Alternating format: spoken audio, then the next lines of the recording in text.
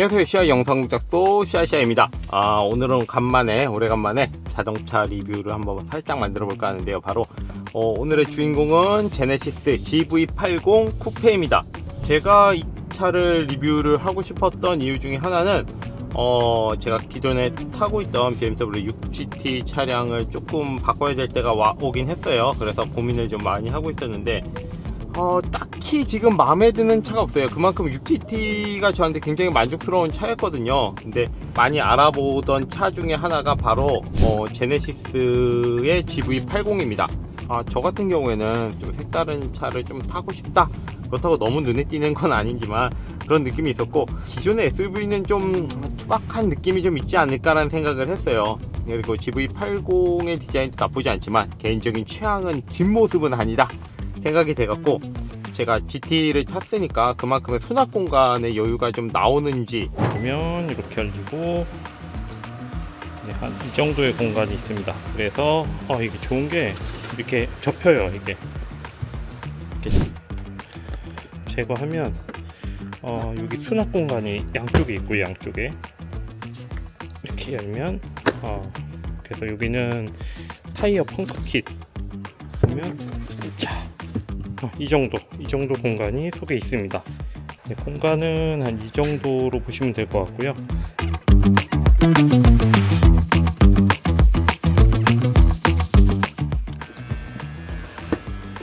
네, 가장 많이 사용하는 펠리칸의 에어 1535 케이스입니다. 이렇게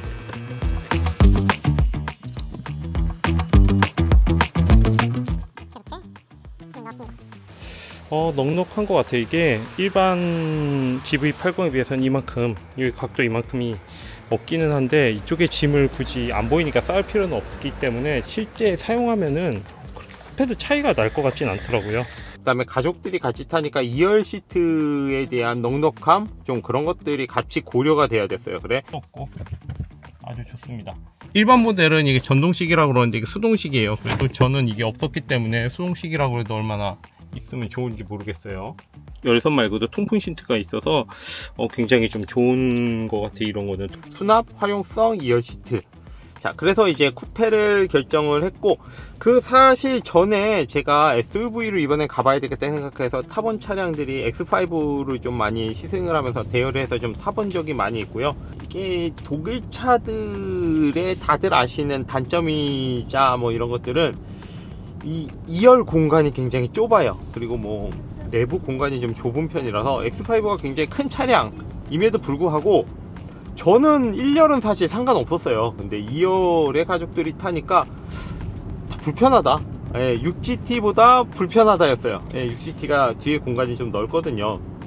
GV80 같은 경우는 그 후륜임에도 불구하고 공간을 굉장히 잘 뽑고 있죠 현대차가 이번에 군산 여행을 좀 갔다 오면서 많이 타봤는데요. GV80에 비해서 수납이 굉장히 적지 않을까 하는데 수치상으로는 한 100리터 정도 차이가 나는 것 같아요. 하지만 실제로 본 그 100리터의 많은 부분은 이 깎인 창문 있는 쪽 그 빈 공간인데 실제 SUV로 뭐 캠핑을 다하면서 가득 채운다면 모르겠지만 그런 거 아니면 그 위에 공간까지 저도 잘 안 채우거든요. 왜냐하면 뒤에 유리나 이런 것들이 안 보이기 때문에. 근데 뭐 사실 GV80은 어, 지금 디지털 루미러를 사용하기 때문에 뒤에가 가려도 사실 상관은 없긴 합니다. 하여튼 그만큼 공간 정도 때문에 라면은 감수할 수 있다. 저는 어, GV80의 쿠페는 사고 싶다. 그냥은 고민이다. 뭐 이런 느낌이고요 이게 연비가 제가 3500cc 3.5T 터보를 타고 있는 건데 지금 시승하면서 시내를 통과하고 뭐 중간중간에 뭐 막히는 것도 있었고 고속도로도 탔지만 제 연비 운전을 좀 하고 중간에 조금 빨리 달려도 보고 그랬지만 아, 10.3이 나왔어요 10.3 굉장히 괜찮은 편입니다 이 정도에서는. 아, 좀 부담스러워요. 제가 기존에 디젤 차를 탔었던 부분이고 연비가 좀 꽤 좋았기 때문에. 그래서 저는 만약에 사게 된다면 가솔린으로면 2.5를 사지 않을까 싶고 아니면 좀 더 기다렸다가 차는 좀 마음에 드니까 어, 하이브리드가 나온다는 소식이 있죠? 이 내장은 제가 타보니까 제가 고민하던 색상이랑 거의 비슷한 시승차를 받았어요. 그래서 외장 같은 경우에는 제가 이 블랙을 할지 아니면은 좀 고민을 하고 있었던 차에 블루 컬러를 좀 받았고요. 내장 같은 경우에는 이 코발트 블루 뭐였나요? 하여튼 요, 요것도 블루예요. G80에서도 이 컬러가 굉장히 마음에 들었어요. 이 짙은 블루 컬러 제가 진짜 좋아하는 컬러 중에 하나인데 요걸로 돼 있는 데다가 요게 그레이로 할 건지 오렌지로 할 건지가 굉장히 고민이 된 부분들이 있었어요. 근데 다행히도 제가 보기엔 오렌지로 할 것 같아요 저 같은 경우. 그래서 내장 같은 경우도 제가 봐서는 웬만한 수입차의 고급 질감 이상으로 내장은 현대가 잘 뽑는다고 생각하고 특히나 이 제네시스 같은 경우에는 아, 신경을 진짜 많이 쓰는 느낌이 들어요. 여기 위에 이렇게 마감이나 이런 것들이 굉장히 잘 되어 있습니다. 그리고 카본 질감으로 real 카본으로 되어 있는데 어, 카본이 스포티하네요. 3.5 터보면은 굉장히 넘치는 출력이에요 일반적인 데에서는. 요새 전기차가 많이 나와서 상대적으로는 적은 게 아닐까라 싶지만 이 정도의 진짜 300마력이 훨씬 넘는 이런 정도의 힘은 일상에서 차고 넘칩니다 버튼이나 이런 것들도 만져보면 완성도가 굉장히 높습니다. 이 메모리 시트가 있는데 이게 운전 중에는 네, 조작이 되질 않아요. 보면 이렇게 보면 정차 작동 가능합니다. 이렇게 나오는데 이 운전 중에 이게 1번이나 2번을 눌러서 원하는 대로 하던가 아니면 운전할 때 편한 좌석을 좀 세팅을 맞춘 다음에 그 세팅 입력을 메모리를 좀 시키고 싶은데 그게 좀 되지 않는 게 불편한 느낌이 좀 드네요. 그리고 어, 핸들 steering wheel이 이번에 디자인이 바뀌어 갖고요. 아, 예전에 약간 럭비공 같은 디자인보다는 저는 이게 좀 더 깔끔하다 생각이 드는 부분이 있어요. 27인치의 요 디스플레이 계기판도 굉장히 마음에 들어요. 그 테마를 저 같은 경우는 흰색이 너무 밝아서 블랙으로 바꿔서 하는데 이렇게 custom하게 바꿀 수 있는 여지도 굉장히 많고요. 티맵을 제가 사용하기 때문에 안드로이드 폰이랑 해서 안드로이드 오토로 좀 연결하는데 안드로이드 오토가 좀 무선이 됐으면 좋지 않을까 싶은 생각이 듭니다. 여기서 터치가 돼서 바로바로 바로 돼야 되는 몇 가지가 안 돼서 어, 폰보다는 좀 불편해요. 크기 화면은 커서 좋은데. 룸미러가 디지털이라서 처음에 굉장히 좀 이질감이 있었습니다. 룸미러 같은 경우는 디테일이 굉장히 깔끔하게 보이고 선명한데 이게 오히려 초점이 제가 얘는 초점이 여기고 한 40cm 저기는 몇 미터 몇십 미터 앞이니까 이걸 왔다 갔다 하는 게 처음에 굉장히 좀 어색했어요. 근데 요거 한 하루? 하루 운전하고 나니까 사람의 눈이 감사한지 괜찮더라고요. 비 오거나 날씨가 안 좋을 때 그리고 야간에 주차장에 들어갈 때는 어, 디지털이 훨씬 더 좋은 면이 있었습니다. 잘 보여요. 단점이라 그러면 어, 다른 리뷰에서도 제가 보긴 봤는데 여기 안에 거울이 있어서 이걸 제끼면은 일반 거울로 바뀝니다. 일반 거울로 바뀌어서 일반 거울로 쓸 수 있는데 이 안에 거울이 있다 보니까 조건이 좀 달라지면은 비치기 때문에 이게 상이 디지털로 보는 거 속에 진짜 거울이 있어서 약간 이상한 느낌이 들어요.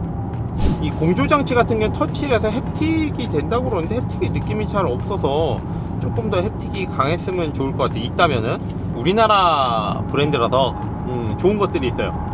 외부 공기가 들어오게 하고 있다가 터널로 지나가면서 자동으로 그게 공기가 안 좋으니까 터널 공기가 이게 외부 공기가 닫히는 이런 게 있어요. 공기청정 기능이 기본적으로 있고 뒷좌석 가족들이 부러워하던 통풍 시트가 뒤에서도 되고요. 자 시트 얘기를 했으니까 말인데 굉장히 좋습니다 시트.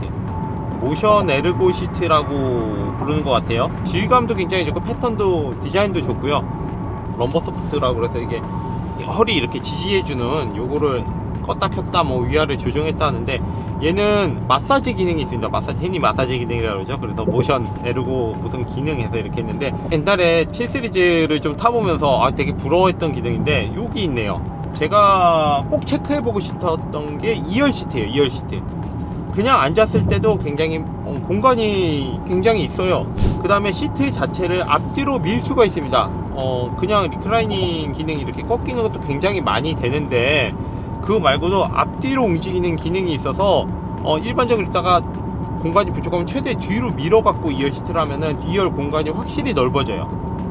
제가 앉았는데도 어 앞으로 공간들이 꽤 남고 그 조수석을 최대한 앞으로 밀 수 있어요 제 차량 예전에 6GC 같은 경우에는 민다고 해도 그 한계가 있었는데 얘는 굉장히 앞에 뭐 사람이 못할 만큼까지 밀 수가 있고 뒤에 뭐 가족이 아이가 자고 있거나 그래도 그 각도를 조절해서 어느 정도 할 수가 있고 어 그리고 2열 시트를 앞으로 접을 수가 있잖아요. SUV니까. 그래서 짐을 더 많이 할 때. 그럴 때도 이게 전동으로 됩니다. 앞에서도 조작을 해서 전동으로 접히고 뒤에서도 트렁크에서도 버튼을 눌러 전동으로 접혀요.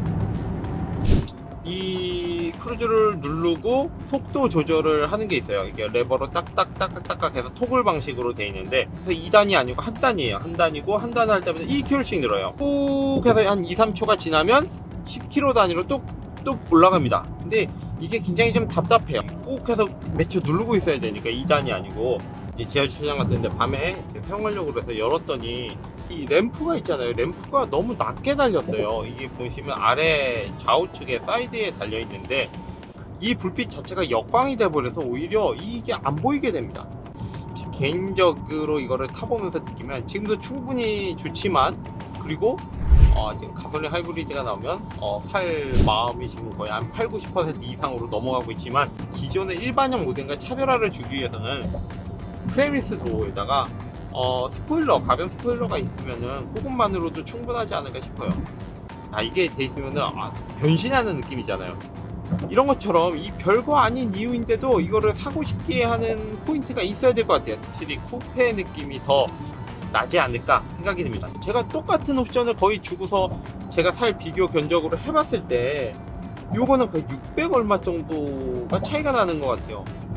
굳이 공간은 더 그만큼이 더 적은데 가격이 같다고 해도 어 그래도 얘는 예쁘니까 라고 하지만 보통 쿠페가 비싸니까 그렇지만 아 이게 좀 더 다른 선택의 요인들이 만들어져 있으면은 저 같은 사람들이 쿠페를 선택할 때 더 도움이 되지 않을까 싶습니다. 여태까지 시야 영상 공개소였고요. 어, 다음에도 관심 있는 차량을 계속 리뷰를 해보겠습니다. 이제 하이브리드가 언제 나올지 모르겠습니다.